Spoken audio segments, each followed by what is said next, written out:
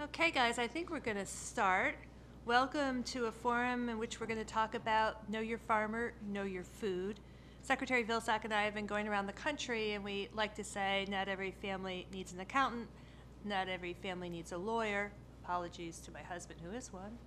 But every family needs a farmer. And then we like to add on the tagline Do you know yours? We had a very exciting week last week. We released the Know Your Farmer, Know Your Food Compass and Geospatial Mapping Tool. And Jon Carson, who's here in the White House working with the President, heads up our Office of Public Engagement, is here with me, and we want to talk about the tools that we released and all that you can do to find out more about ways USDA and the government as a whole can help you in the work that you're doing to build local regional food systems. So I have some ground rules first. Um, I'm supposed to say, usually when you start these things, you can say, turn off your cell phones. In this case, don't. I mean, this is, this is really supposed to be, you know, your phones, whatever your electronic devices are, we're, we're tweeting. We're tweeting all over the place. Um, you can post pictures, uh, live blog using the hashtag, hashtag KYF2. Know your farmer, know your food. KYF, KYF, KYF2. If you're watching online and you don't have a Twitter account, we still want to hear from you. Send our team email at knowyourfarmer at usda.gov. Know your farmer being no spaces in between those words. Um, if you're in the room uh, and we're going to have conversations, we will get you to a microphone when speaking, and when you we call on you, tell us who you represent, if anyone. Uh, and uh, we have uh, seven different themes that we have in the Know Your Farmer Compass, and we'll go through those sequentially as they appear on our website. Um, but we can take breaks and talk about whatever the room wants to talk about. Um, today's video feed will be available later on on youtube.com slash White House. So those are my those are my uh, marching orders, John. But um, I just want to say that uh, things are really, really exciting. We, um, we introduced the Know Your Farmer, Know Your Food Compass via a live webcast. Yeah. Secretary Vilsack and I were plowing new ground doing that. We didn't know how it'd work, but we have a, had about 3,200 people watch us live, and now it's going to be on YouTube so people can get that introductory uh, tool to the, the compass anytime they want. Um, we've had probably over 14,000 people actually dig deep into the compass document and the geospatial map, and we just released it on Wednesday afternoon last week. So I think that um, people are finding it value. And what I'd like to do is um, is uh, talk a little bit about it. But first, I want to say that you and I have something in common. Yeah. Yeah. You grew up on a farm? I did. and I grew up in a farming community. Now, my dad, he was a school teacher. We were, we're not in, on the farm, but in the weekends, he in the summer he worked at Agway. He sold farmer supplies, so was part of my family income. Grew up next door to a farm, a farm that eventually gave way to commercial development, which was really sad. But at a certain point, I did know my farmer. His name was Mr. Roberts. And you grew up in a farm, and so we're connected because we were Yes. both really close to the land. I, I did know my farmer, uh, Kathleen. He was my grandfather. Uh, just this last summer, my parents got to go to the Wisconsin State Fair where they received a plaque for the farm being in the family for 100 years. Uh, and I keep a picture of that farm uh, on my desk uh, here in the White House. So I, I just really want to thank the Deputy Secretary for putting this together for the folks who are in the room. We, and those of you watching on whitehouse.gov slash live, we do a lot of different events here, but this one, uh, for the reasons we just talked about, is so exciting to me personally. And it's also um, an issue that we need everyone's help getting the word out about. As you said, we deal with a lot of different issues here at the White House. Some are interesting to people, uh, some have very niche categories, but everyone cares about this. Everyone, if they don't know their farmer, they should know their farmer. And I also think this is just such an incredibly exciting example of how government works best. Government being a partner with businesses, government being a, the federal government partner with local governments, um, and really highlighting and making concrete uh, what this is all about. Um, I, uh, having grown up on a farm, uh, the first paycheck I ever got was for uh, baling hay. Uh, my neighbor's farm, my grandpa didn't pay me. That, that came with uh, being in the family. Um, and to this day, here living in D.C., um, I do know my farmer now as well. We're part of a local, um, uh, uh, a local um, food organization that our milk is actually delivered. Um, I got to take my three-year-old and my one-year-old uh, to South Mountain Creamery uh, to see where that milk comes from. So the support that USDA is giving to these efforts across the country is fantastic. Should we take a look Yeah, uh, let's take a look. So, um, first I want to tell people what's right behind me is the website for the Know Your Farmer, Know Your Food compass, document, and geospatial map.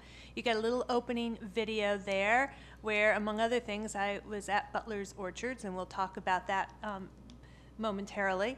Uh, and then you'll see the whole compass guide. On the left, that navigation tool, you'll see the different themes that we'll talk about uh, in the course of this hour and a half uh, meeting that we're having.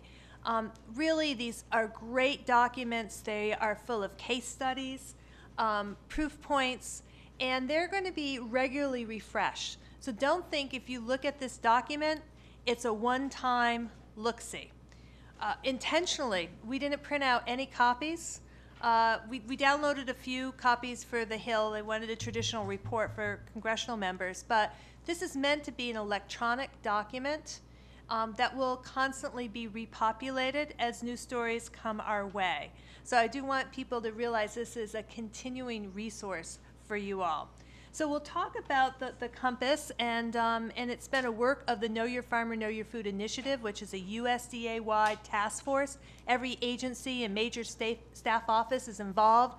So it's had many, many hands, um, but it's very lush visually. It's very beautiful. I think people will enjoy reading it. And there are tons of hyperlinks embedded in the document, so it brings you to various studies that are relevant, uh, resource guides. There's a lot of there's a lot of richness to it, so people should take the time. But what I'd like to do, John, Yes. is actually go over to the geospatial map, Yeah. if my crack staff pulls this off. And I understand you're from Wisconsin, Yeah, and we'd like to uh, see where you're from. Right there. I believe uh, the Westby Co-op Creamery is part of the uh, Know Your Farmer, Know Your Food Right. initiative. Best So- cheese curds in Wisconsin, by the way. A little advertisement, I suppose. So this is the geospatial map, if people haven't seen it. Um, what you do is you can go right to your county. I've spent a lot of time in Massachusetts where I am. And you can see the uh, dots on the map are various kinds of USDA investments. Oh, I just want, Amanda, if you Oh, slow yeah. down there, so, or, um, see it says three of three? You can go back, go back here. And so I want people to realize that you need to sometimes go through. If you hit that point and one slide comes up, you need to pay attention to that number in the corner because there might be multiple things on that dot. So this is telling us about seasonal high tunnels, how many investments at that zip code, and you want us to go down to another one though. Okay, we'll go down to another one. John, where's your dot that you want us to see? It's uh, this one right here. That blue one there? Uh, No, one more down. One more down. There we go. Now, Uh, a little further down, I think. Or maybe it's the next it might be the next slide. We there it are, is. The Westby Co-op Creamery. All right, so what did they receive? If we go down, we scroll down, we received, they received a $300,000 value-added producer grant from the Rural Business Service, which is part of our rural development mission area. And this helped them to um, put in some infrastructure. And uh, if you go back up a little bit, that's the end of that scroll, right? Yeah. If you hit more information, what do we hit, guys? We hit that hyperlink. Okay, you go right to the place. So these hyperlinks, when you go to the map and it says more information, if that place actually has a website and we're able to find it, it'll bring you there and you can find out more information on your own. In some cases, it will bring you back to the USDA program where the funding was received. In all cases, you can also go to the Know Your Farmer, Know Your Food blog, which you also see in that navigational plane when you engage that website for the first time. And on the Know Your Farmer, Know Your Food blog, under uh, resources, and actually on the navigation plane too, where it says, um, where is it? There you go. Grants, loans, and other resources.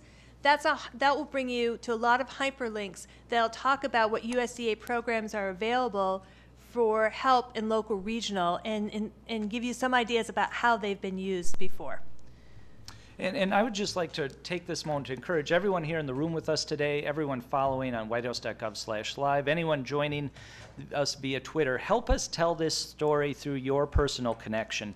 Um, following what's happening where I grew up in western Wisconsin, an area that really saw the devastation of the farm crisis in the early 1980s, and seeing what this approach to agriculture has meant to the local economy. Um, Organic Valley is now the number one employer in the county where I grew up.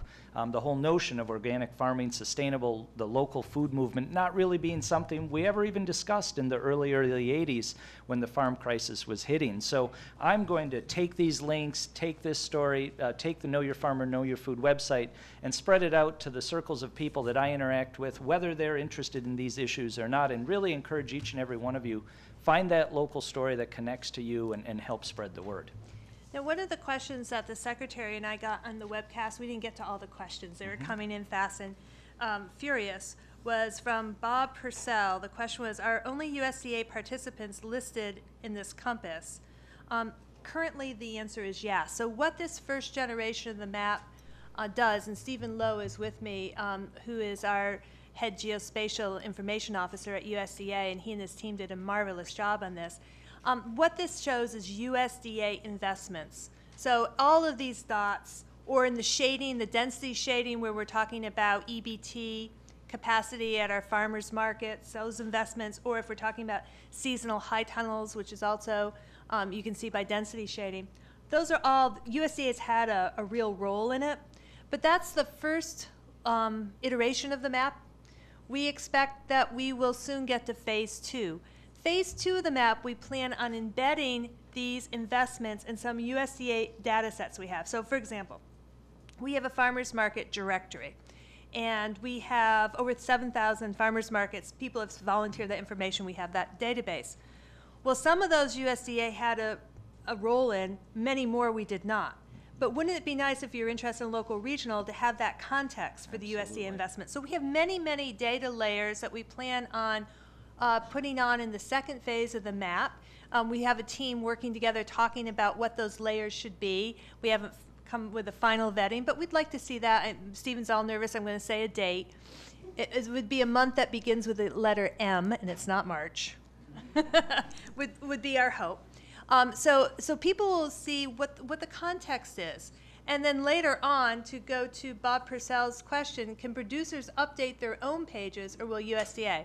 Well, of course, if you've been a, the beneficiary of USDA help and the, your website is there for more info, you can always update your website. But in terms of actually putting yourself in different ways on the map, we haven't crossed that bridge yet. Um, so, Well, and just one final point I want to make sure uh, to mention is how excited the president himself, the first lady, and the whole team here at the White House uh, is about Know Your Farmer, Know Your Food. The president um, made sure there was a quote uh, for the report, which is, I think, on the front page of the web page of the website.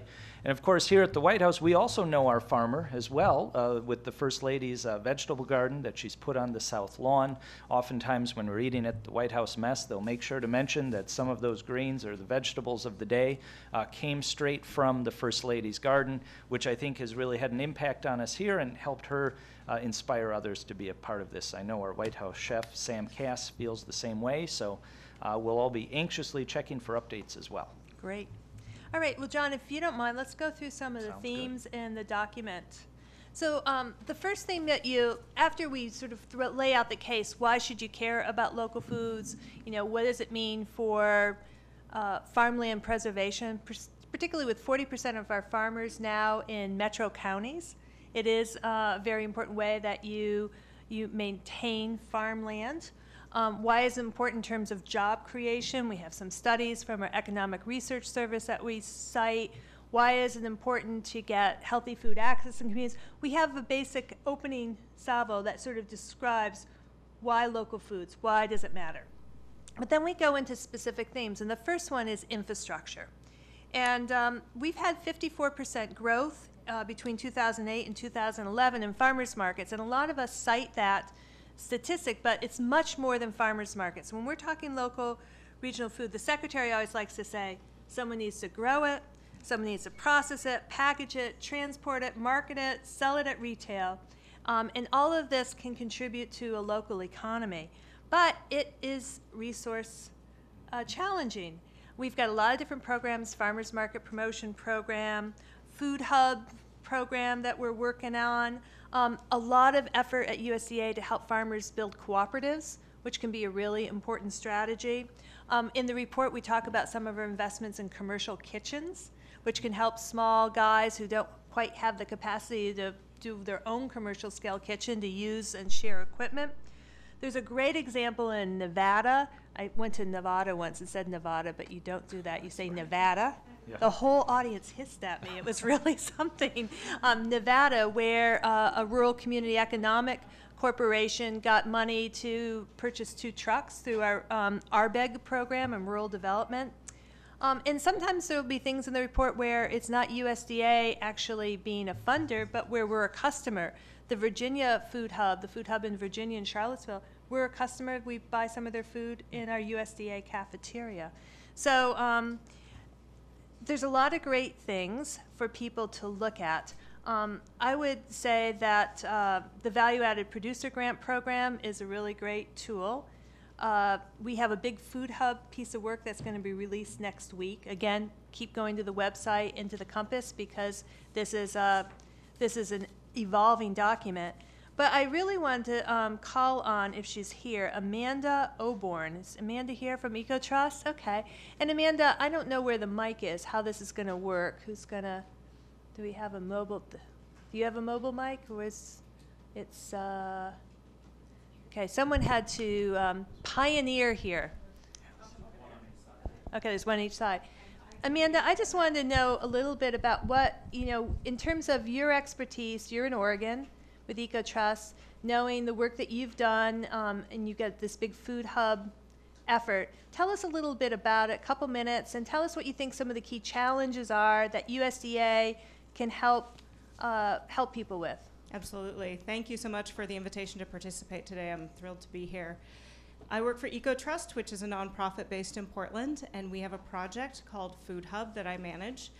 That's capital F, capital H, not to be confused with food hubs generally. It's basically a virtual food hub, by, according to the USDA's definition, and it's a tool where chefs, restaurateurs, uh, school food service directors or hospital school food or hospital food service directors can get online and find producers, farmers, ranchers, fishermen, dairies in their area and make contact directly.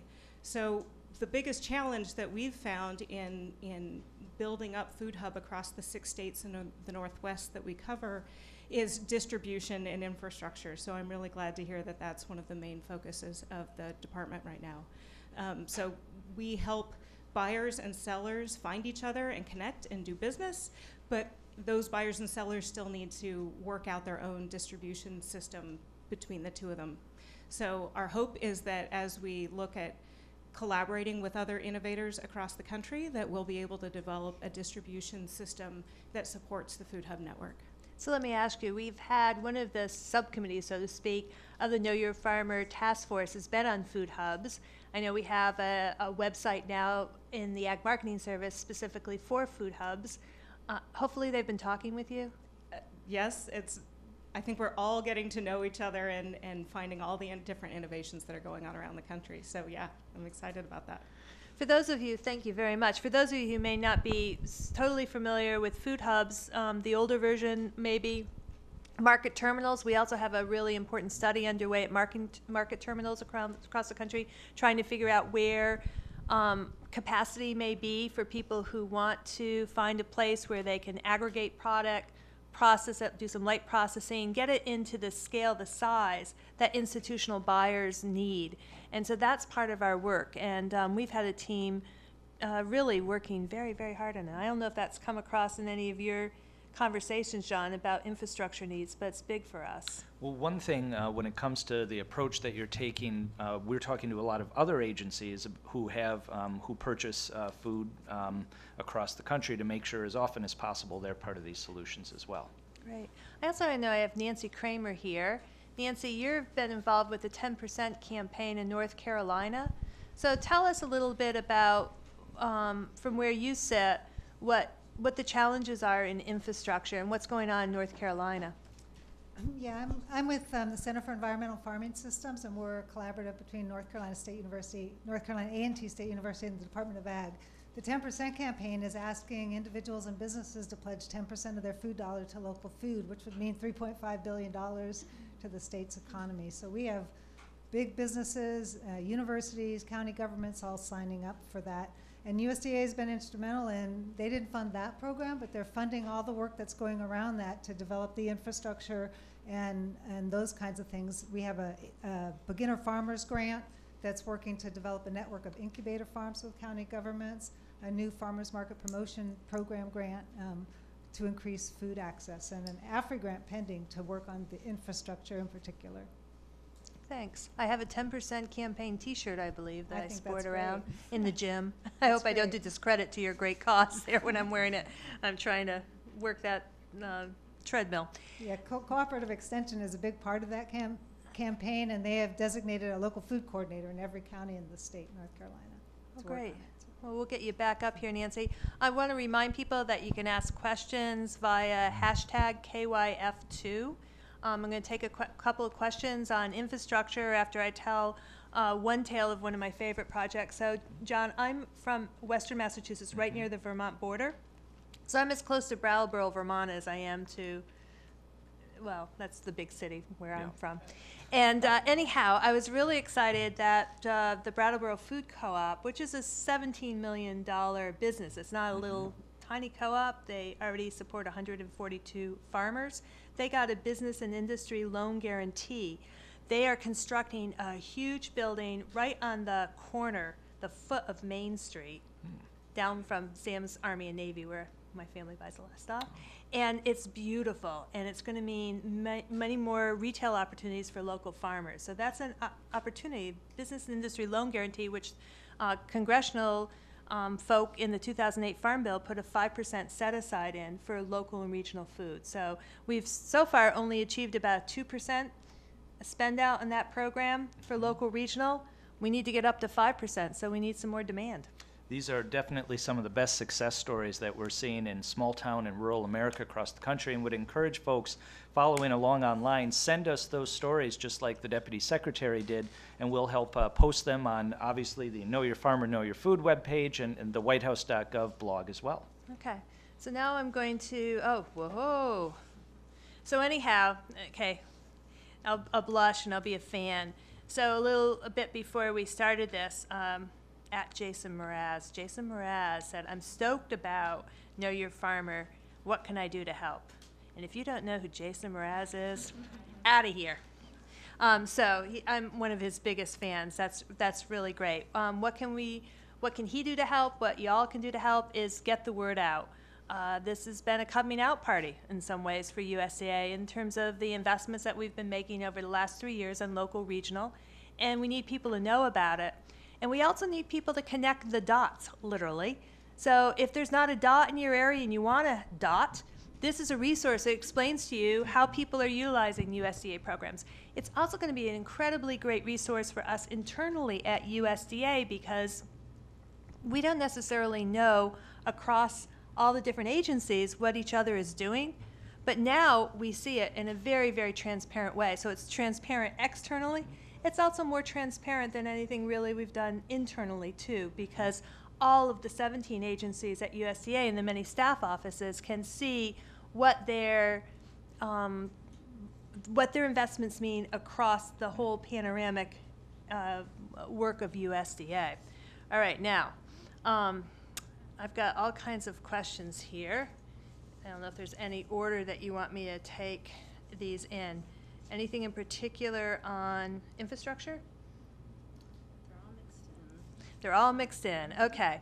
All right. Um, at FHCASA, are there plans to add features to the grants loan page, calendar of deadlines, searchable by type of program eligibility?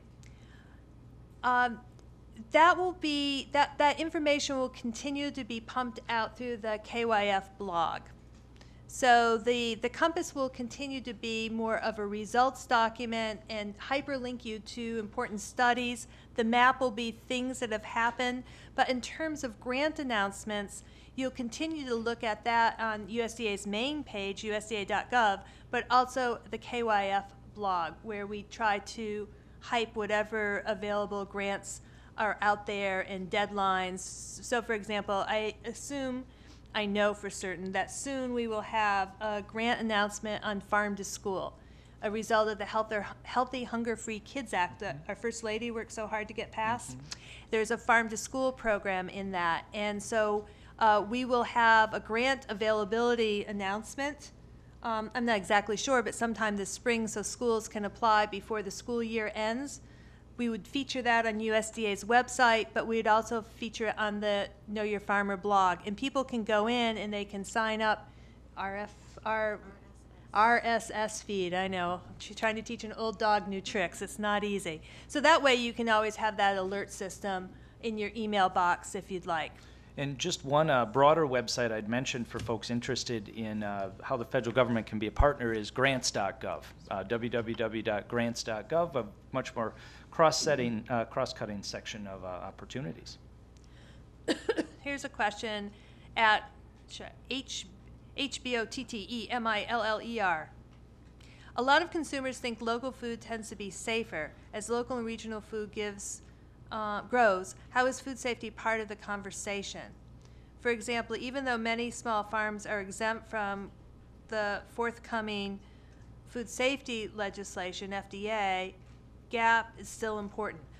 Um, yeah, well, uh, certainly no one gets a pass in food safety in my mind. I don't care if you're the biggest farmer in the world or the smallest. We all have to achieve very high levels of food safety. The president, in fact, my boss, Tom Vilsack, always said, well, I got the boss, the big boss, and then, you know, yeah.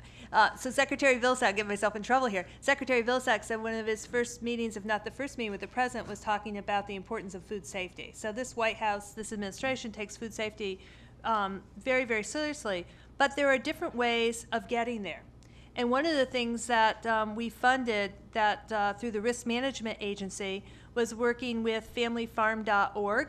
Um, it's one of many things that we've done. And what they did was they developed a, a food safety planning tool. It's free to farmers. So you can go onto the website and you can um, it'll ask you questions, kind of like TurboTax, if you ever use TurboTax when it's uh, tax filing season, as some of us know. Um, and it asks you particular questions, you fill it in, and at the end, you hit print and you get your food safety plan.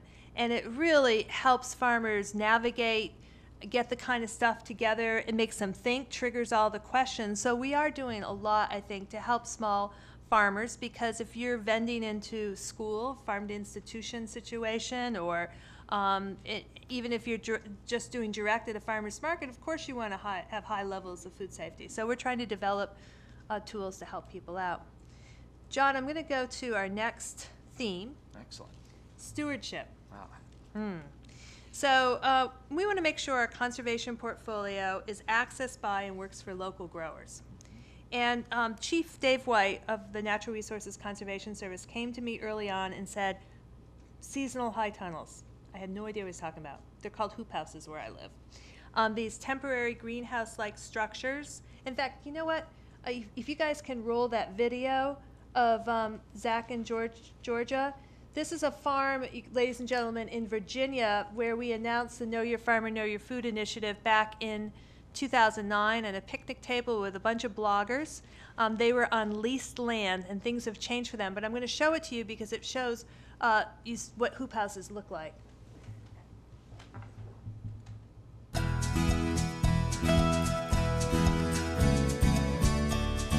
Hi, Deputy Secretary Merrigan. This is Zach Lester. We're here at Tree and Leaf Farm in Unionville, Virginia. It's been two and a half years since I've seen you. We were trying to get a USDA mortgage. Obviously, we got the mortgage. Hit the ground running, put up our tunnels.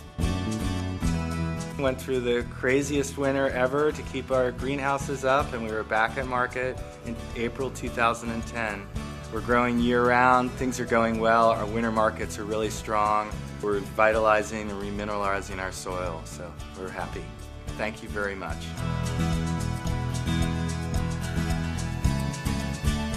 Know your farmer, know your food. That's me, and this is my son, Owen Lester.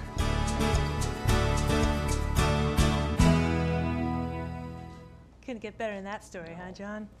So um, we have helped farmers across the country through our environmental quality incentive program uh, put these hoop houses on their land. It lets them get the crop in earlier, keep some crops in later, so you extend your growing season.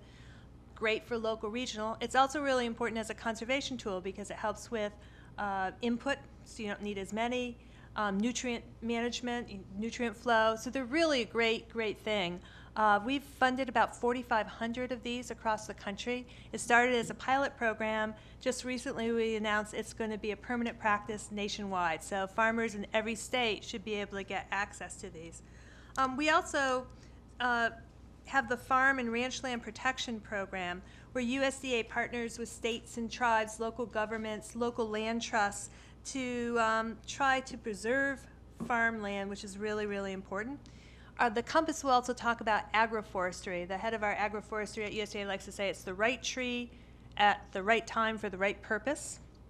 But it's as a as a strategy, as a diversica- diversification strategy in this country, probably underutilized.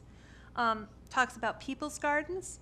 Uh, we are trying to get people's gardens across the country. USDA took uh, a jackhammer to the parking lot at the corner of our building and put a people's garden. Um, the first lady, I think, did a little bit better. Garden's a little bit better, but don't tell the secretary I said I that. Um, it's a beautiful garden, both places. But we then asked all of USDA employees to try to put people's gardens on their properties, and then we have a lot of community partners. So we are now seeing thousands of gardens, and there is a place on our website where you can register your people's garden if it's something that you're doing with a community, a community-based garden. Um, we're also doing a lot of research on local seeds and breeds, which is really important, adapting to the local place. Um, I wanted to call on a young man whose farm I visited recently, who is also in a video on the main website when you first come into the Compass. Uh, Tyler Butler of Butler Orchard. So um, there's a farm, a family farm that's been doing direct sales since the 1950s. Tyler, tell us a little bit about your operation.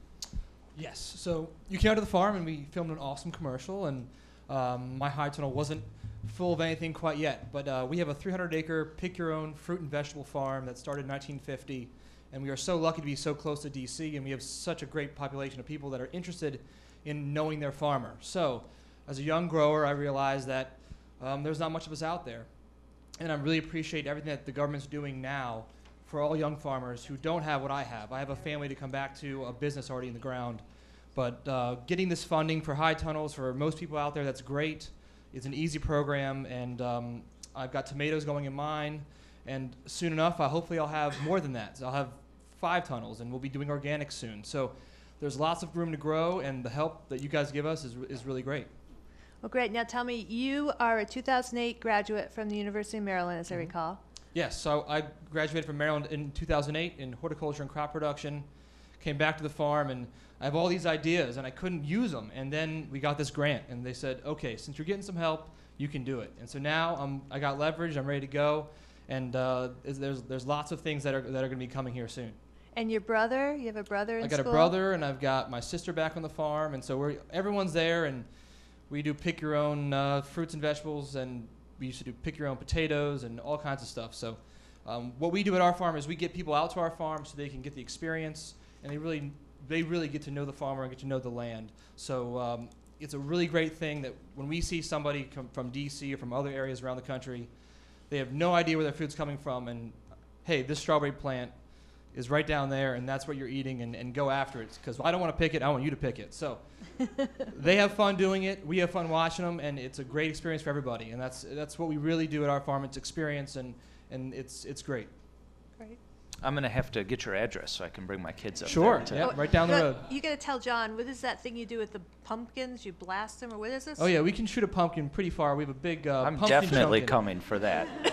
We'll put you down by the targets. Excellent. Well, I just want to take a minute to thank USDA for their leadership on the whole issue of stewardship. On Friday, uh, Secretary Vilsack, Secretary Salazar, and the President hosted a conference on conservation across the country. And what I think is so exciting is that I think the old way of thinking of land conservation was taking land and putting it out of bounds and, and keeping people away from it. But the new conversation, USDA is front and center playing a leading role. And, and that was what was so exciting on Friday, seeing the conversations taking place between farmers and ranchers, them being part of the solution to land conservation, everything from keeping the Chesapeake Bay clean um, to, to uh, projects like this. So thank you for your leadership on that.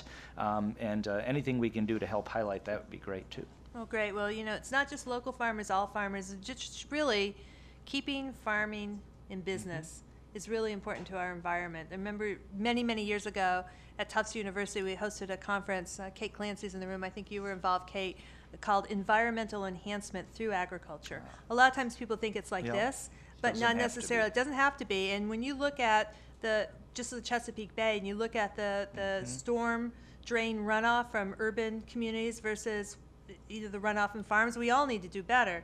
But it really makes the case that you want to keep those farms in business. Absolutely. I have a couple of questions that have come my way. Are you able to search educational farms and farmer incubator programs with the new Compass feature? Uh, uh, um, Sophia Maravell from Brickyard Educational Farm. Um, hey there. Uh, yes, you are. Uh, uh, things that been funded through our Beginning Farmer and Rancher program. Uh, those grants are up on the website, and a lot of those are funding educational programs. And you actually are sitting next to Stephanie Ritchie, who has done a marvelous job in, co- in collaboration with the Farm Bureau, the American Farm Bureau Federation, to have a program called Start to Farm, which is also a great tool for people on our website to turn to. So there's a lot of interest in beginning and um, uh, oh, now I'm looking at the screen. Okay. Uh, Jody Mason says Our research shows U.S. consumers yearn to know who grows their food, but they shop most at supermarkets. What can supermarkets do for KYF2? I got a lot of ideas.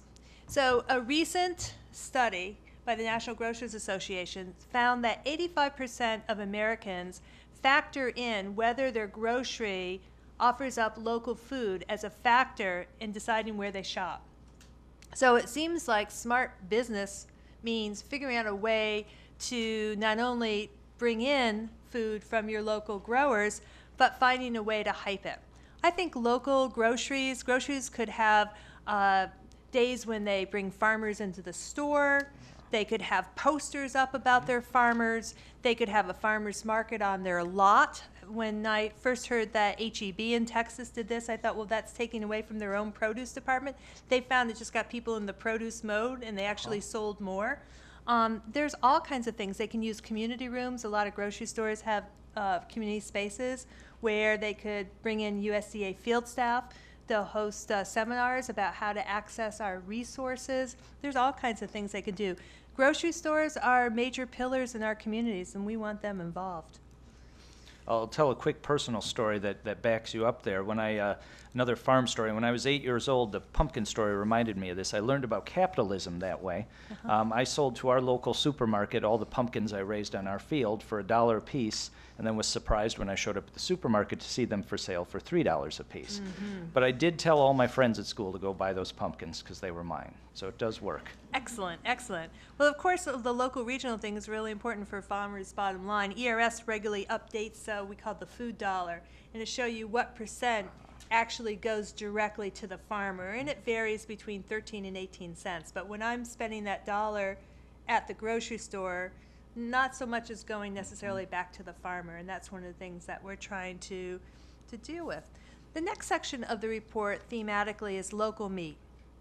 And uh, I remember early on in my job as deputy, I went to a meeting in uh, uh, up in New England, and they were talking about it might take 18 months to get an animal to a slaughter facility.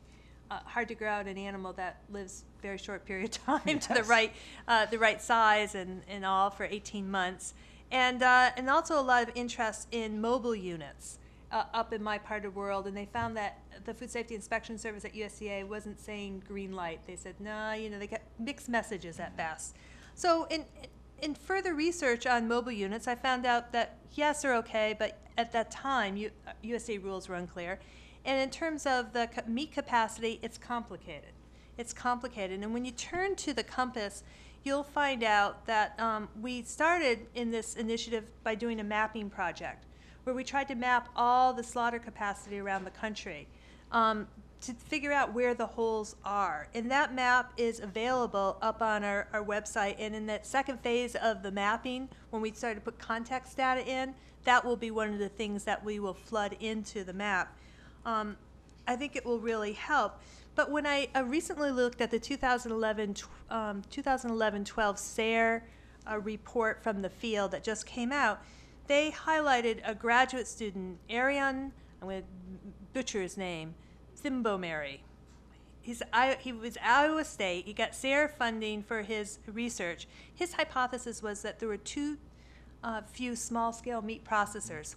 But what he found was it was also more of a coordination issue and resource issue. You got aging food processors, the slaughter facilities, they're the people like everything in agriculture, they're aging. And they also have the extreme boom and bust for the seasonality of, of meat, which you're very familiar with in Wisconsin because that's mm-hmm. probably one of the places that has the most small slaughter plants in the country he leveraged his initial SARE grant because of all the interest in this into $500,000 for his research. And when he became one of the people who started the Niche Meat Processors Assistance Network, um, he put out the whole animal buying guide, and SARE put out a guide how to direct market your beef. All great resources that you can find in the Compass. We also talk a lot about um, mobile meat. Um, we put out a compliance gu- guide so people would know what the rules were, clear, black and white, not gray. Uh, we did webinars on what these rules are and also what RD rural development money might be available to help people uh, fund these uh, local slaughter facilities. And we have a lot of success stories in the Compass. Um, in April 2011, you'll see a study that's in the Compass uh, where in Iowa they explored small scale meat processing and they found that for every $1 million in small meat processor output, they required 13.3 jobs. So they did a whole analysis. What does this mean for the local economy that people can read? So local meat for me, it's jobs, diversification strategy uh, for risk. It's um, it's finding out how to recouple animals and livestock, uh, animals and, and crop production for nutrient cycling. Uh, and it's a place where I don't think there's any um, greater need for that national discussion about where your food comes from, because people are really they've romanticized or disconnected with the farm and livestock agriculture, and so I think it would um, it really help if we have that conversation. Now I want to call in some people in the audience, but before we do that, I want to. I saw Sam Kass is in the house, and Sam is one of our dear friends. He leads the uh, First Lady's uh, food policy efforts, and uh, we, we got a mic for you. Pull up a chair. Yeah, you got, you got some time for us? All right. Put him right in the middle. Sandwich him. How's it going, everybody? Good, good. We're having a tweet up, Sam. I'm 52 years old and I'm doing it. I love tweet ups. I tweeted for the first time just a couple weeks ago, if you can believe it. Jason Mraz is in the house. It was nice. Yeah, he's tweeting with us. Nice. It's great. Uh, it's been great. this is exciting, huh? Um, can I say just a couple things? Yeah, please.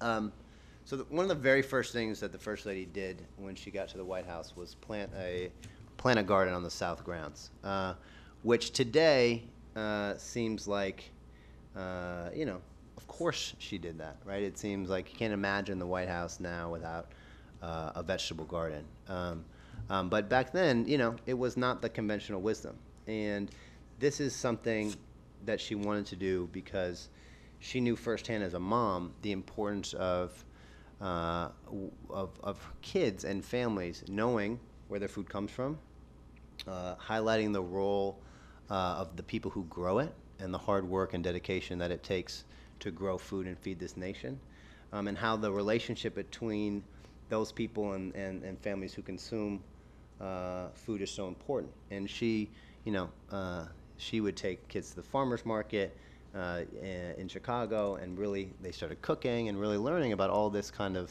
all this kind of stuff.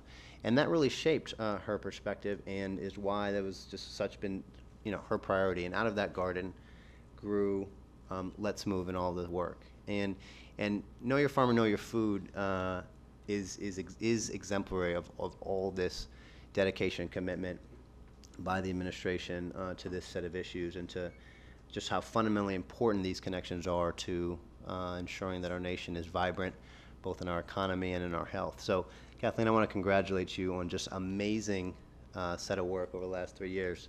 It's been just extraordinary what you've uh, what you guys have accomplished over there, um, and to the secretary as well. And uh, and I think uh, this is just the beginning of a lot of great great work. And this is, you know, we're keeping up with the rest of the country. Uh, this is happening all over the nation. Uh, uh, there isn't a city or a town or mayor who we talk to who isn't working with a set of stakeholders to, to deal with all kinds of different requests from community go. We just met with leaders from Jackson, Mississippi. The mayor has made a commitment that in each neighborhood there will be a city uh, supported community garden where they're giving the seeds to the community. Just that's Jackson, Mississippi. I mean, every time we meet with leaders, this is what uh, we're hearing. Uh, I have a good friend who tore up a football field in, in, in Texas to plant food to help support uh, community college. Uh, this stuff is happening everywhere, uh, and it's just really exciting. So um, we're, we're, we're deeply connected, and we feel like there's a lot of uh, a lot of great work yet to be done. But we're really proud of what the administration has done to support this effort. Great. What, what are you harvesting in the garden right now? Um, so we, that's right. We um, we are harvesting uh, a lot of kale. We grow all year round. We have low tunnels uh, out in the out in the garden. Um, so we are harvesting. We just harvested some incredible spinach, kale, chard. Um, um, let's see, um, pak choy, some amazing bok choy mustard greens. I have the most amazing mustard greens ever uh, the the last few weeks. Uh, we have broccoli that's just about to be taken out, collard greens, um, and lots of lettuce, tons of lettuce. Um, and we'll be we're getting ready for our spring planting. And so the other thing that, that we'll see in the coming months is the first lady is uh, has written a book uh, called American Grown, um, and it's going to be a book that highlights and tells her story and evolution of these issues, um, but also the story of what's happening all over the country and highlighting amazing, amazing work happening everywhere uh, that we run across. Sometimes we go to highlight it, and sometimes you just come upon it. Uh, an amazing garden that a science teacher built with, with her class, or, or a faith leader who's dedicated extra land to, to helping to grow food and improving access to healthy, affordable food. Um, so, you know, we're going to be, this book is going to be beautiful uh, and amazing, uh, filled with recipes, how to tips about um, how to plant a garden, how to plant a children's garden, how to do it on your windowsill, how to do it in your back porch, how to do it in your backyard, um, how to do it in a school. And, and it's just going to be both a great tool, but also a great visual and a great story. So we're very excited to, so stay tuned for that. It's exciting. Yeah, it's very good. All right, well, when you came in, I was just about to call on Drew, and then stick, stick for a minute, because Yep. I want to go to Farm to Institution, which you have so much um, to say in. But I wanted to call on Drew Peters, who's the owner of Sunnyside Farm in Dover, Pennsylvania. I know a PASA member. Nice. And uh, Drew, you've been involved in the local meat issue, so tell us some perspective from where you stand. We, um, we use a, a small, uh, local butcher. I actually dropped off two pigs this morning on my way here. And then we also, uh, process on farm. We are exempt from, uh, the, uh, we have, we operate under that USDA exemption. And, um, we have, uh, great success, uh, having people, um, come out and help us. we have great success with uh, people who want to eat food, meat that's been grown on grass. Um, we find that uh, through the methods that we use of having cows and chickens on the same grass, the grass grows at an incredibly high rate of speed. And so as we move the animals around the property, everybody gets fed well. Um, the Hmm. end result is lean meat that's really delicious. Great. Well, thanks, Drew. Good Thank luck with you. that. I also want to call in one of my colleagues at USDA, just because it, it's just such a stark juxtaposition, I think. So Colleen Ross here, where's Colleen? Is she here? All right, this is your moment, baby. So she's on the local meat She's- committee. she's blushing. She is blushing. she uh, she works in the chief office of the chief scientist in our research agency. I'm not sure if that mic's working. Is that mic working okay? Do you think? So anyhow, yeah, she is actually thinking about the whole animal. Okay, so one of the things that we know from our colleagues over in Farm Credit is they say they go around, they talk to young people, and they say, "How many of you want to be a farmer?" You know, when you get out of school, and all the hands go up, and then the next question is, "How many of you have a business plan?" And only two or three hands go up. And so there's really you have to figure out the whole the whole piece.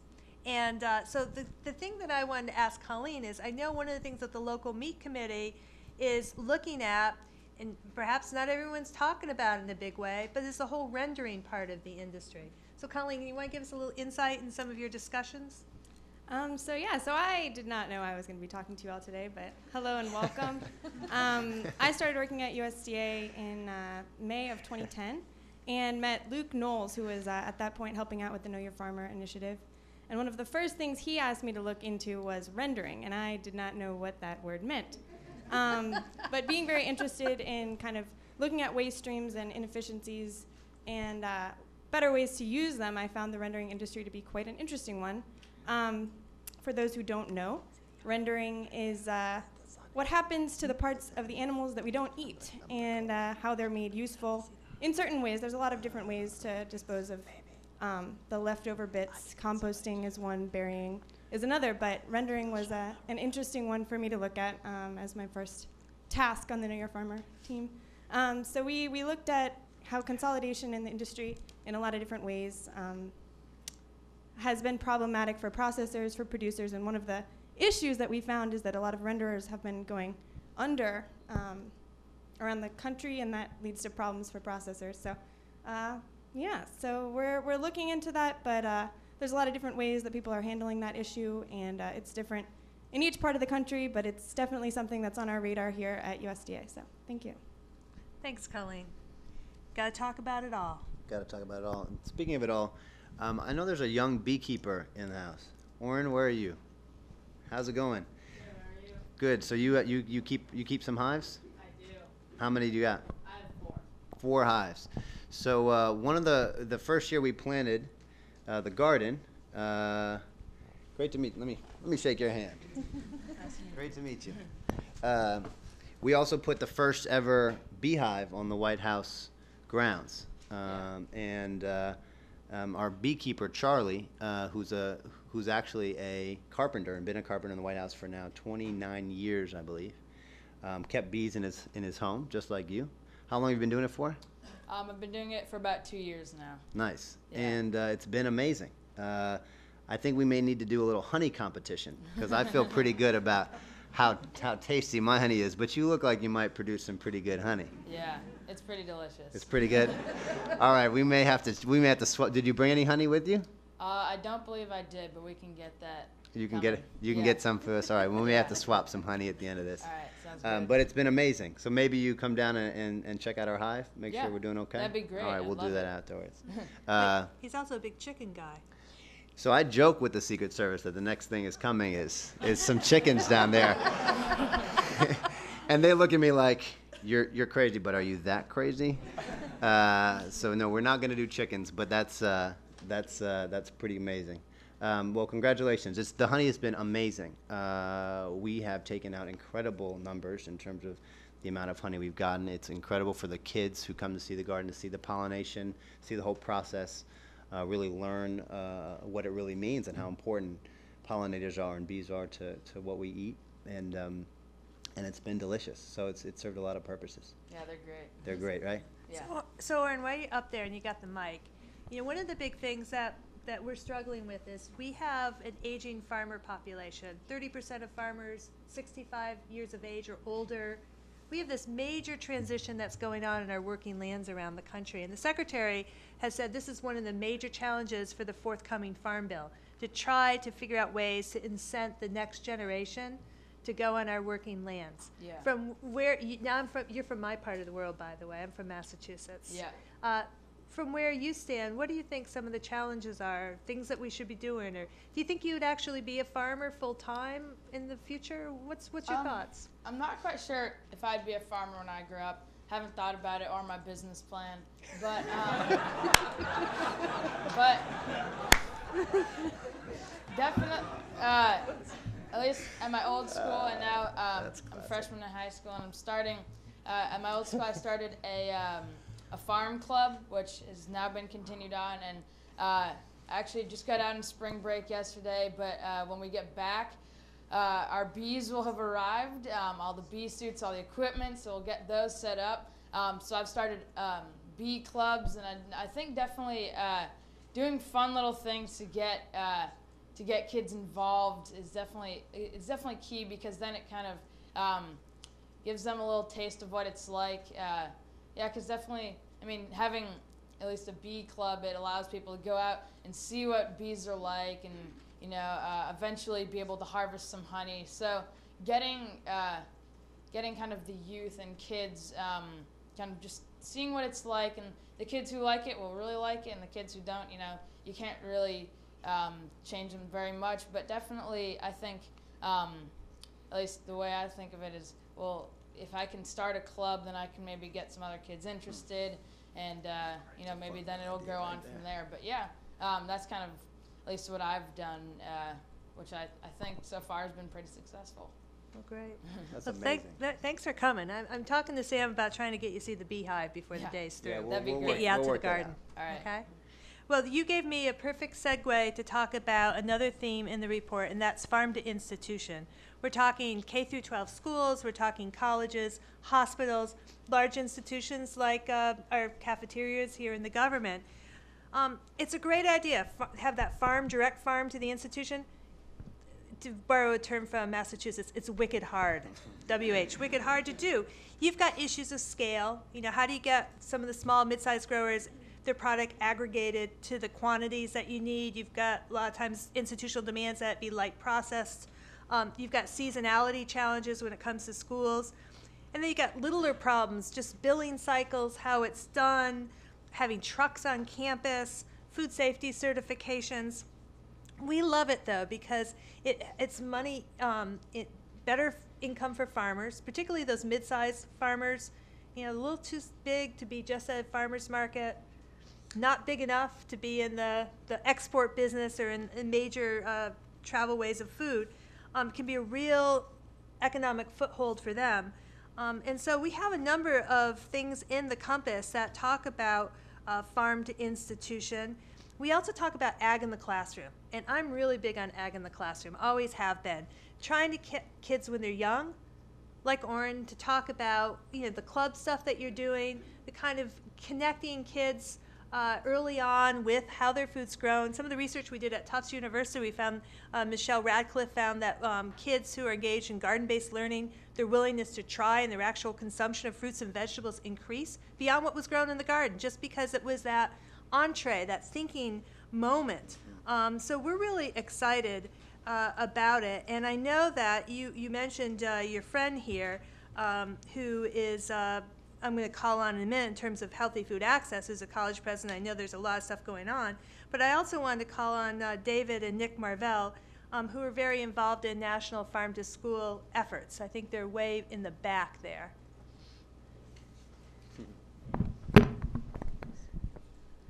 You got both kids with you, your daughter too. You guys going to come up with your dad? Or are you hiding? I mean, this is your moment. You can be live streamed from the White House. It's your 15 minutes of fame. There you go. Help your dad out. He may need it. They look so excited. so tell me what's going on from your perspective. What are the opportunities in farm to institution? What we what should we be thinking about? Well, with farm, well, farm to school or farm institution, you know, the biggest thing is, is distribution and, and being able to connect farmer to the institution, whether it's school or hospital. But in that is our opportunity. And it's people who have, are finding ways. Uh, Derek Kilmore from West Virginia is here, and he's also found ways. He's a farmer who's been able to connect other farms to his farm and be able to collaborate and be able to bring local product to an institution. So he's, you know, in Delaware and across the nation, I also represent the National Farm to School Network. We're looking at people who basically we're picking on the low hanging fruit. Where you know we're working with uh, anybody who has um, some kind of distribution already involved or ever already running, and then work with farmers who don't and try to commingle that product and, and keep its identity. Excellent, excellent. So, uh, um, we were really moving. One of the things we started early on at USDA is set up the farm to school team. They went around the country. They tried to document what works, what doesn't. We've got a report on that on our website. We have a whole website on farm to school. Our National Ag Library put together an annotated bibliography so people don't have to reinvent the wheel. And, uh, and so there's a lot moving. So I really thank you for your leadership, and I bet you're looking forward to us getting out that uh, request for proposals for the Farm to Grant program. Uh, Yes, we The are. Farm to School program, yeah. And I- and I'll commend the farm to school team because they went around the country looking at small and medium and large operations in schools and they really, you know, got the, uh, the consensus of the country. So thank you. Thank you very much. Thanks, guys. If, if you're skipping school, I'm sorry they outed you. Live from Delaware. Hello. Hello, Principal so-and-so. Thanks for coming. So I have a question that Amanda is showing me on the web. Farm institution, how can we assure, and maybe you guys can have some thoughts on this too, how can we assure that limited English and immigrant farmers participate in this important revenue stream? I'll start, and maybe you will add. Um, we certainly do have uh, a lot of our programs at USDA. If you're a beginning farmer or rancher, um, or if you are um, from a traditionally underrepresented population, socially disadvantaged population in terms of getting the largesse of USDA's resources, you get higher um, cost shares. Uh, so, for example, when I was talking about the seasonal high tunnels that we, we saw, um, that's at Butler's Orchards and elsewhere, uh, if you were uh, a mainstream farmer, you get 50% cost share, but if you are a socially disadvantaged farmer, you get up 90% cost share. So we do have ways that a lot of our programs are weighted. Um, we do need to do better at USDA in translating a lot of our materials uh, and trying to get out more into immigrant populations. It's something we're working on. Um, and uh, I'm just going to take that as a challenge. Well, and Kathleen, it gives me an idea. Um, I think what we can do uh, at the White House, we work with so many different organizations, many of those working with recent immigrant populations. We can make sure they know about Know Your Farmer, Know Your Food, and, and know about this whole sector, I think is a real opportunity for job creation. So, my advice would be anyone looking for help on that, reach out to those institutions who maybe don't have anything to do with food or nutrition generally, but they'd be happy to be partners. And if I could just give a shout out to everyone tweeting with us here today. We've done, I'll, I'll ask the White House uh, team and, and Chessie, we've done tweet outs on everything from women's issues to environmental issues to, I don't think we've ever had this kind of participation before. We're, uh, keep tweeting. We're probably on our way to a record here at the White House. Cool. I got a question submitted by Kate Clancy here in the room. In the future, will you be able to separate local from regional and index the latter for those interested in working at a larger scale? I'm going to go to even more basic question. This prompts Kate. A lot of people ask me, well, how do you define local? Should we define local in law? And I say no. I, I don't think we should because local is going to depend on where you live, what crop, what season, and it's also evolutionary. Right now, there are some places that can do more local and regional because they have infrastructure, because they've taken advantage of some of these programs, because they've had some very exciting food entrepreneurs that are working there. And there are other places where it's just, it's not happening yet. And so we just have to be uh, respectful of that. On the other hand, I come from New England, and uh, local food is not necessarily confined by state borders, and it makes a lot of sense for regions to work together. In the case of New England, the six agriculture commissioner of agriculture, commissioners of agriculture, blah blah blah, um, they came together and said, "We care about local regional food up here. Let's work together." And then they got together with their governors. It became part of the New England Governors Association strategic plan about how to build local food. We gave them up there a $250,000 cooperative grant, big money. Big money. They turned it into millions through the philanthropic community. So USDA's tiny dollars leveraged, but it wasn't really, I want to make a big deal of our 200, we turned it all around, but it was about people coming together and figuring out what could we do as a region. So I think it's going to evolve in different places, in different time periods, in different ways, and I think that is okay. I want to talk about healthy food access. Let's do it. And particularly, um, I'm going to, instead of starting off with my own little jazz here, I'm going to call on our, our, our local expert in the room, local via Dallas, Texas. Um, Michael Sorrell's here. And Michael is the president of Paul Quinn College. I'm going to bring you right up to the mic, sir, which is a small, traditionally African American college. And, uh, and I know you've been doing some exciting things on campus, so if you could give us a little glimpse, it'd be great. Sure, and I want to thank you for the opportunity. And Sam, it's always good to see Good you. to see. Uh, my name is Michael Sorrell, and as the Deputy Secretary said, I'm president of Paul Quinn College, and we are a small, historically black college in Dallas, Texas. We are 12 minutes from downtown Dallas, and we are firmly entrenched in a food desert. There's no grocery store for four to five miles from our campus. My students walk to the grocery store if they need food after hours. There's no uh, Walgreens. There's, I mean, no, no, nothing, right? No healthy food restaurants, nothing. And so we spent a couple years trying to get people to engage around this project. We even offered free land. We have 140 acres. We told any grocer that would build a grocery store, hire people from our community, hire students to work there, that we'd give them the land to build a store. No one took us up on it. So we got angry, we tore up our football field and created an organic farm.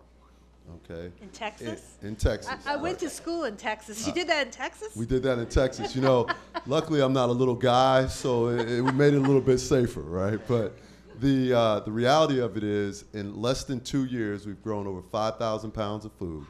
Uh, we give away 10% of what we grow in a program called Tithing to the Community. Now, in case you think that you have to have some wonderful agriculture program to do this, we had none of that, right? We just had a will, we had a desire to know that people deserve better. And now we're still angry because we still don't have a grocery store. So we've decided to tear up the baseball field and build a grocery store. so, and this, this, is, this is a true story. And, and thankfully, to you know the, the White House and the folks here at USDA and Joni Walsh and others who've been very supportive and pointing us in the direction and Sam of places to go to get support for what we're doing. And so, what I can promise you is that in the next year, we will break ground on a grocery store. Our farm is now going in less than two years, its first expansion, because the Real Estate Council in Dallas has donated an irrigation system, which we were watering it with hoses in the Texas heat. Well, let me be clear, I wasn't watering it, the students were watering it, right? Uh, but we are getting an orchard, we are getting a greenhouse, we're getting an irrigation system and solar panel lighting, uh, because people understand that if you stand up and try and do better for yourselves, other people will help you, and we are appreciative of that. But we are just warming up. So thank Right. you. Cool. Thank you, Michael. That's And pretty exciting Can stuff. I add one thing on access? You know, uh, one- one of the pillars of the of the First Lady's Let's Move campaign is ensuring that all families have access to healthy and affordable food. Um, and we know that you know, c- as diverse as communities are, there's going to be that diversity in solutions. Um, but this is something that um, is at the core of what we're trying to do. Because while these issues are all, always going to be fundamentally about choice and, and families making choices that are best for them, for the families or people that are living in communities such as this, the notion of choice just means nothing to them. And, and it's at the heart of what we're doing. You cannot um, uh, serve your, you can't raise healthy kids who are eating healthy food if there is no healthy food around. So the first place that we went after, uh, we launched Let's Move was to Philadelphia, where we visit, First Lady visited a grocery store as part of their uh, fresh food initiative. That they, this community hadn't had a grocery store in 10 years, in a decade. And you stop to think about that's from the time a kid is born to they're 10, or when they're 5 to they're 15. And so much of their habits will be shaped by that time. So we worked very hard. We're partnering with, with uh, grocery stores across the country to build or refurbish 1,500 stores over the next five years, uh, impacting about 9.5 million Americans, uh, according to the companies. It's a big step in the right direction, but all these alternative strategies as well, with food trucks and, and local uh, community gardens. Uh, Ample Harvest is doing amazing work uh, by collecting from community gardens all over the country, making sure it's getting to those in the greatest need. Uh, there's strategies happening all over the country, uh, but it's going to take all of these collective strategies to make this happen. But this is a top priority uh, for the administration, for the First Lady. Excellent. Well, let me say, one of the things that you'll see on the compass is where we have provided EBT, electronic benefit transfer technology, to farmers markets for redemption of federal nutrition benefits. Right now, you can see in 2010, we had 900,000 people in the country able to use uh, the WIC Farmers Market Nutrition Program benefit, Women, Infant, Children benefit. Um, and you can see those on the map. in terms of density, where it is. Also, uh, the Senior Farmers Market Nutrition Program, 2.15 million people uh, redeeming benefits there. But what you don't see on the map currently is the Supplemental Nutrition Assistance Program, our largest nutrition program that USDA runs, formerly known as food stamps. And so I know Lisa Pino's in the house. And Lisa, I want, I want to know, are we going to get that SNAP data up there some, some point? Where, where do you see this moving? I'll definitely work on getting that data up there as soon as possible. um, but I did want to share that the good news is that the SNAP EBT farmers market business is literally booming. We now have about 2,500 SNAP authorized markets in the country. That's a third of all the markets in the US. That's triple the amount of SNAP EBT markets we had in 2008. Last year, more than $11 million was redeemed through SNAP EBT at farmers markets, and that's a 400% increase from the amount of redemptions in 2008. But this is fantastic news, not only because it economically empowers local and regional farmers, but also um, it expands their customer base, it expands jobs. Uh, but conversely, it benefits by expanding access to fresh and healthy food in low income, underserved communities. And that's so important because not only is affordability of fresh, healthy food so key, but it, it's really uh, even a more important message in the context of public health as the obesity epidemic continues to increase and all the chronic diseases that accompany obesity, like diabetes and heart disease, et cetera. Um, but you know, we couldn't do this alone. We also have to acknowledge all the fantastic community partners we have out there.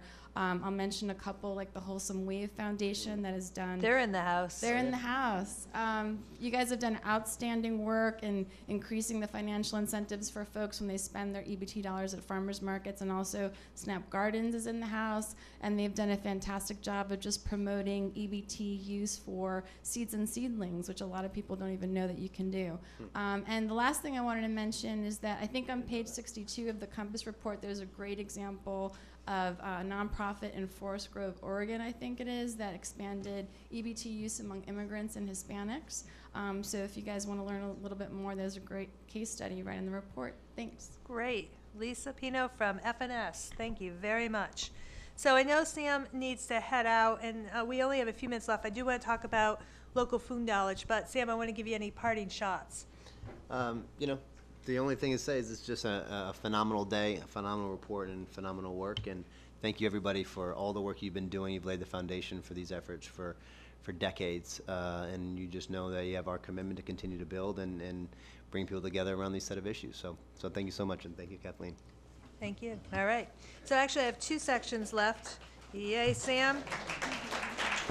Hook me up, hook me up with the, with the bees before your day ends. All right, careers and local food knowledge are the two last, sections of the report I want to talk about. First, careers. Um, when, with Orrin, we touched upon this, the, the need to repopulate our working lands. Um, when you go to this part of the Know Your Farmer, Know Your Food compass, you'll see us talk about um, young farmers, beginning farmers, immigrant farmers, veterans, a lot of veterans coming back looking for employment. Um, Job Corps, how we even get kids in high school interested in agriculture through the Job Corps program. There's a lot of exciting things. We have really tried to work in this administration very closely with FFA and 4-H. I was in 4-H. What about you? I was the treasurer in my local club. A 4 H, not 4-H, yeah. They didn't have FFA where I was then. I mean, it They had like it, I wasn't quite that cool. you weren't that cool. Anyhow, um, we, the secretary and I enjoy nothing more than when these young leaders come in. And when we talk about the 2012 Farm Bill, we say, let's not look about 2012, 13, 14. Yeah. Let's look where we need to go. Where where are we going to be for these young people? So that's that's the challenge. Um, I know that I have uh, Sabrina Madison here from Farm Bureau, and Sabrina's been great. She's the director of rural affairs, and she's been a really close uh, colleague on all of this stuff. And uh, if you just give us a little sense of what you think the challenges are, what we need to be doing. Across the United States, there are um, concerns with the business transition of, of getting the farm from one generation to the next, and with the, the age of farmers um, and, and young farmers um, coming into the farm, it's really hard for the farmers to be able to bring their, the next generation into a farm operation as it is. And many of the far, uh, many of our farmers we're finding are diversifying in order to to be able to bring that next generation back to the farm. In fact, this year at, at our annual meeting, we uh, awarded our Achievement Award, and four of the top five winners had some portion of their farm operation that was involved in retail agriculture. Um, Farm Bureau has been involved in, a, in a, a lot of support for, for local and regional food, both at the, at the national level with the Start to Farm project, which you heard about the Beginning Farmer Initiative, and, and also with uh, state initiatives that, that, for example, in Indiana, they did a boot camp for, for meat manager, farmers market meat managers so that they would understand the new rules. There are lots of, of um, farm, Farm Bureau programs to support farm markets and farmers markets and uh, Wholesome Wave. I have to give kudos to Wholesome Wave who, who partnered with the San Diego County Farmers Market to, to give those double up food bucks. Um, we also have resources on online um, about careers and there are we have a, a, the ag in the classroom program that we that we work with and also uh, there are have a program called My American Farm, which is online games to introduce children to agriculture. And they can go online and, and see how, how that's, what it might be like to, to be involved in c- uh, careers in agriculture. That's great. So we've got a lot of resources. We've got Start to Farm, we've got Farm Bureau, FFA, 4-H, Ag in the Classroom. But this is the biggest challenge in my mind facing American agriculture today, is getting that next generation in and successful. It's, uh, there are a lot of capital barriers, you know, and trying to get into American agriculture, a lot of challenges. With only 1% of Americans now directly from the farmer ranch, there's that, that that broken connection for the passing on of knowledge. So we've got we've got a big challenge. I go out on the road and I actually meet people who are in their 80s still dairy farming, not because uh, they want to, because that's a pretty hard 365 day a year job. You're probably milking three times a day. It's tough, but they just don't know who to pass the operation off to. So thank you.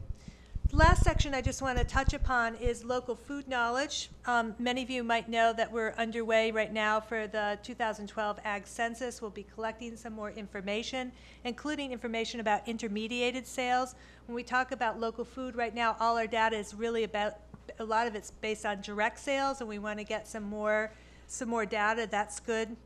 In the local food section, you'll see about some of the research we're doing. Uh, you'll get a hyperlink to the plant hardiness zone map, which USDA just released. So it's uh, it's sort of got the color borders. People wonder, are the seasons changing? When do I plant what?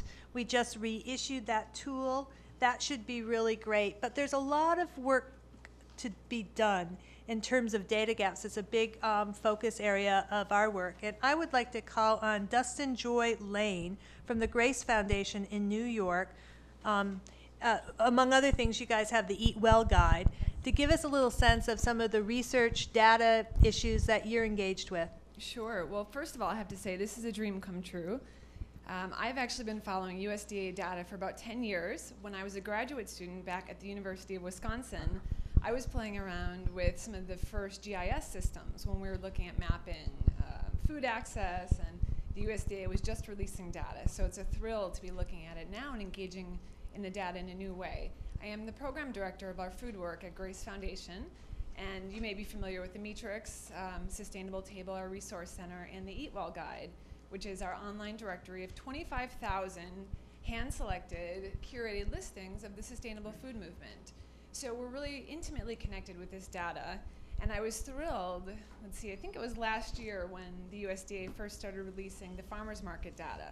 And I had been in touch and we had been working in partnership with Real Time Farms and with uh, Food and Tech Connect and others to really look at how we can come together, all of the partners in this field, and, and say how can we support this data and engage with it in new ways and actually start looking at the government as a leader where then we can explore the, the ways that data can be applied so now looking at this, I think think it's um, incredible because we have this significant evolution for a government agency, and we can really explore how to catalyze conversation and how to look at new innovation. This compass is just thrilling. It's, it's a dream come true. It's exciting. The innovation, all the applications that are possible, um, the, the ways we can map, the ways we can do mobile applications, the ways we can start looking at infographics and new ways that we can use data to tell the story is just at the frontier of where we're going. We had a Farm Bill hackathon hosted by Food, Food and Tech Connect, uh, founded by Danielle Gould and Grace Communications. We sponsored this last December. We brought together 125 different folks in the technology field, field developers, designers, graphic artists, and then we also brought in food advocates to tell the story of the Farm Bill, of the food system. And we had this incredible day in New York City looking at new ways that we could tell the story. We built an application for Meatless Monday. We looked at new ways of telling about meat consolidation. Food and Water Watch was there talking about some of the issues in the meat industry. We had other partners all at the table. And what I'm here to do today is to say we are committed to working with you to get this data out there in new ways so we can have developers explore the data and figure out how we can take it to new platforms. So I'm standing here in commitment with Food and Tech Connect and Grace saying we want to host another hackathon to explore the USDA data and to help really explore new frontiers for this work. You can follow us along at Eat Sustainable on Twitter and also Food and Tech Connect or Food Tech Connect. And, and please come play with us. Let's, let's take this somewhere. Okay, well, great. Well, let me um, say we've got about five minutes uh, left, and uh, since we were just talking about our data, let me start um, with an apology. Look, this is a lot of data up there, Yeah, a lot of data points. Am I confident it's 100% right? Should we say good enough for government work? Or, or no, I'm only kidding. I, I, mean, we've had a lot of vetting in this. We've done a lot of hard work, but um, there may be things where there are glitches. One, one point this afternoon, I was trying to hit a hyperlink in the Compass uh, to hit a study, and it didn't come up properly. Let us know. Use the Know Your Farmer email address. Let us know of any technical problems that you find in the document or concerns that are raised we have a team ready to respond. We want to know about it. We want to improve our tool. Um, this is a hallmark of transparency. It's a really important thing for us. And so uh, we made sure that all of our uh, data, that sets that we've put up there, are in um, Excel um, programs that you can download. Am I pronounce, saying that all right? St spreadsheets, okay, old, old dog. Um, so uh, we want people to do with it what they want and figure out and give us feedback. That's that's that's all good stuff. Um, I also got a question from Hilde Steffey at Farm Aid, wondering how can farmers share their stories with USDA, both successes and challenges, um, so we can serve them better. I think that's a really great um, question. I, I don't know exactly how all the compass is going to evolve, but we again are going to be repopulating with more stories more case studies. Um, I think the case studies put the flesh on it. You get the data, that's important. I'm not saying data is not important, all that, but when you know someone in your community, um, I think that really makes a difference. I also got a question um, Will there be a section of the compass for children for education and fun? Frankly, I hadn't thought about that. So, all these different tweets that are coming in, I just want to assure everybody that as deputy, I'll be reviewing them all the Know Your Farmer, Know Your Food task force will be reviewing the tweets, figuring out if there are things that have come up that we really should be thinking about that we may not have already. And then I also got a question do you plan on releasing farm data? I don't know. That might be the Farm uh, Service Agency is uh, where a lot of farmers get their operating loans, their farm ownership loans. The way we've tried to represent that is if you go to the state office, um, where FSA is, you click on that and it will tell you how much in the loan portfolio for that year FSA went to farmers. And then in um, right now, about half of the states, and very soon all the states, will have three or more profiles of farmers that will say so and so got an operating loan. And these are people who are deliberately working in the local regional food space. So we are trying to get out that information. Not try, we're trying to represent people's personal data, but so it doesn't say so and so got X dollar loan, but it, and and all these farmers and ranchers have been very kind. They've all signed waivers. They say yes, you could put me up there as an example. So um, they're out there, and um, I hope that helps people get a sense of what the range of services are from from USDA. Jon, do you have some final comments Well, before I'm we go dark? Um, I'm leaving this uh, more excited than I was coming in. I first just want to congratulate USDA, the entire team that's here today. This is what President Obama envisions for the federal government: government being a partner, concrete examples, concrete solutions. And my challenge to all of you: this is clearly, I knew it was coming in, but not to this extent. This is a connected community. This is a community that's growing. My challenge to everyone following online here in the audience is on your way back home today, while you're tweeting, think of a couple people who you know who aren't part of this conversation. There's so many challenges we're facing in this country today. As someone recently said, we're at halftime in America and we know that we're heading in a great direction. But this is a set of issues that everyone can be involved in. Everyone can feel like they're part of the team making a difference. From the consumer end, using Know Your Farmer, Know Your Food to make smart local choices, um, to starting your own bee club at high school. Um, please help us uh, spread the word, and we'll continue to do that too. Excellent. Well, thank you all for coming. I know some of you came great distances. Those of you out in cyberspace, hello there.